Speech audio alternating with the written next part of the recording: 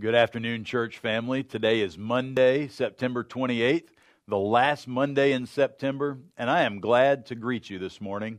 Thank you for joining in so often. I know that every week we have an update, and uh, I want you to understand that these updates are intentional. The things that I tell you aren't just filler. I'm really choosing each of the things that I'm saying to you. So I hope that it helps. I hope this is something that's valuable to you, and I hope that you'll continue to tune in. But thank you for tuning in today.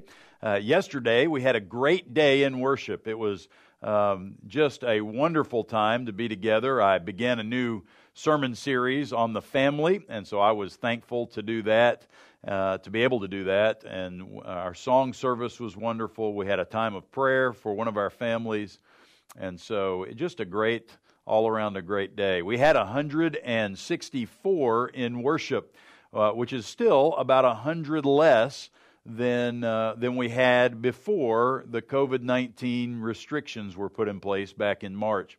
Now, the reason why I tell you this is there are still about 100 people who normally would be in our worship service who are not for some reason. Perhaps they're part of the at risk group, and so they're intentionally um, staying away. Maybe they're part of the uh, 55 or so, 60 or so that tune in regularly on uh, on our live stream, either on our YouTube channel or on our website, or now new on our Facebook Live uh, broadcast. But uh, however they're tuning in, uh, we want you to know that they're there. Some others may have just gotten out of the habit of going to church. And so, what I'd like you to do, I'd like you to reach out to folks. If you miss them on Sunday, don't do it as a way of guilt, but do it as a way of reaching out and saying, hey, look, we miss you. We hope that you're doing well.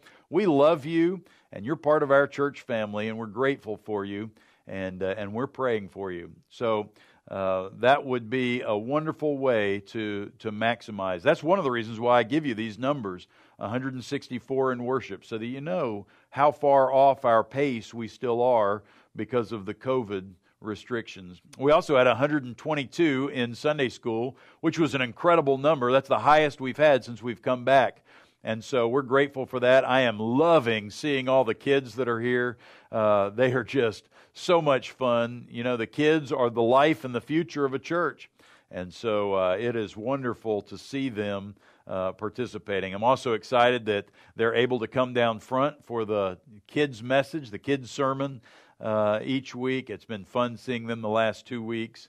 And so uh, just what a great uh, what a great joy to see them. And since I'm talking about kids, uh, I want to give a shout out to Nick Andrews. Today is Nick's birthday. Happy birthday, buddy. I hope you have a great, great day. So, uh, uh the reason why I did that, by the way, is for the last two weeks, he's told me that his birthday was September 28th. And so I just want to make sure that he knows that I remember and that his birthday is special. Uh, also, Saturday, we had a work day here at the church. Thanks to everybody who came out. I was not here, but I understood that we had a lot of people who came out and did a lot of things. Uh, I see the results of their work, and uh, I am grateful for them being out here. So, if you were a part of that work day, thank you for doing it. We can really tell it looks great on our church building. And that leads me to one other thing. Uh, I, would ask you uh, if you would, not just those that were here, I'm not speaking to them, I'm speaking to all of us who belong to First Baptist. If you see something that's out of place, please pick it up and put it away. If it's trash, throw it in the trash. Uh, if it's something that uh, you don't like the looks of, find a place for it.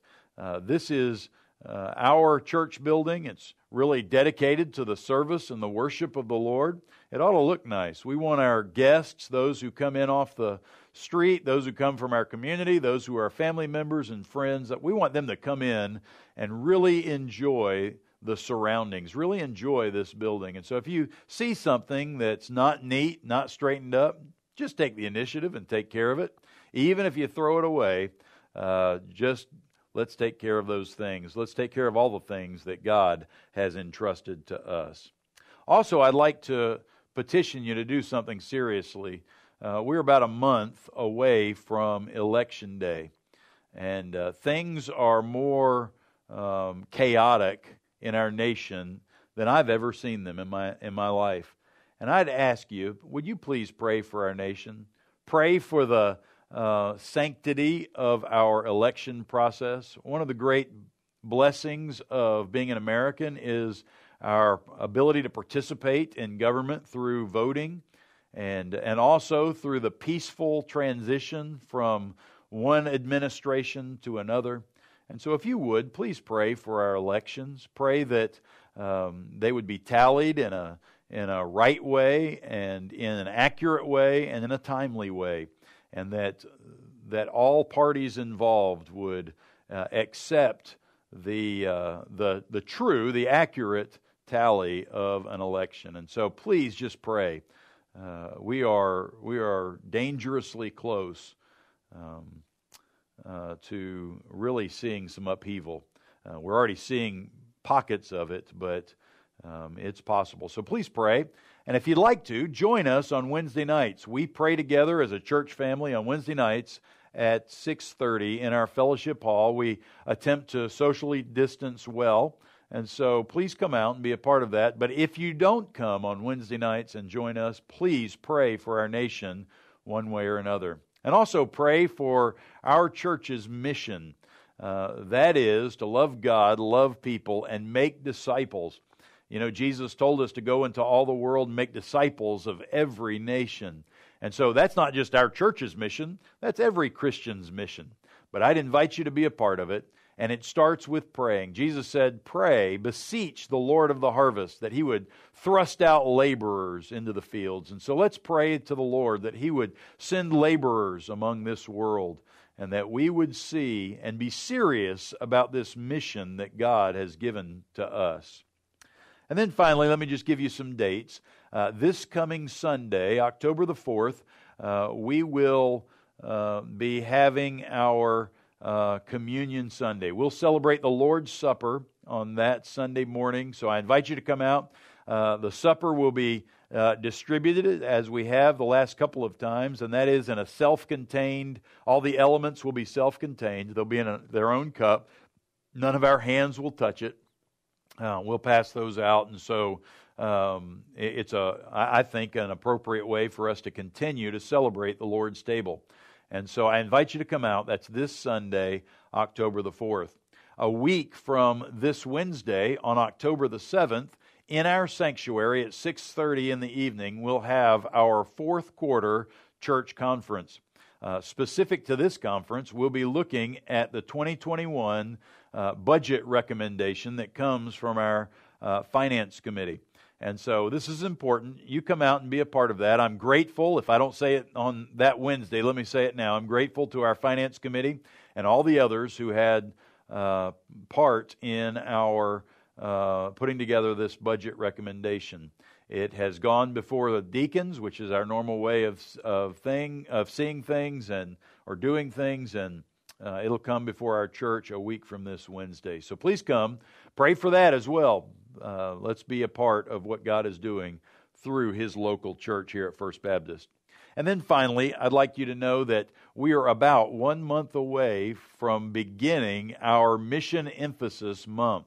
This means several things. One, it means that throughout the, the, the, Sundays of the month of November, I'll be preaching on missions. And so it's important to me that our church remain focused on what Jesus has called us to do. And so we will look at that together through the month of November. But also, it means a kickoff of our Mission First offering.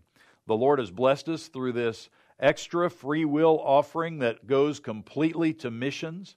And, uh, and so this is where our Lottie Moon Christmas offering comes from. This is where our Annie Armstrong Easter offering comes from. This is where our North Carolina missions offering comes from. It's where our gift to the North Carolina Baptist Children's Home comes from. It's where our gift that goes to our cooperative Christian ministries, which is here in Concord. It's where that comes from. And then it's also where part of our funding for our church missions comes from. And so I'd ask you to, even now, to begin to pray. Uh, ask the Lord what He'd have you to give, and then give exactly what you what He tells you to give. Here's what I believe. I believe that if we all ask and then we all obey, we'll give as a church exactly what the Lord would have us to give. And ultimately, that's what we want. We want to do the Lord's will. So you say, what's the theme of today's update? Well, I hope you've understood it's my asking you to pray. Pray for our nation, pray for our church, Pray for our missions offering and pray that we would do what Jesus has called us to do until He returns for us. And I hope that soon. Church family, I love you. Thank you for tuning in today. I hope that this meant something to you. I really want these things to be um, meaningful. I want them to be uh, worth the time and effort that we spend, but also that you spend watching it. And so thank you for joining us. May God bless you. I hope that you, you know that I love you, but I hope you know that Jesus loves you more. God bless you. Have a great day.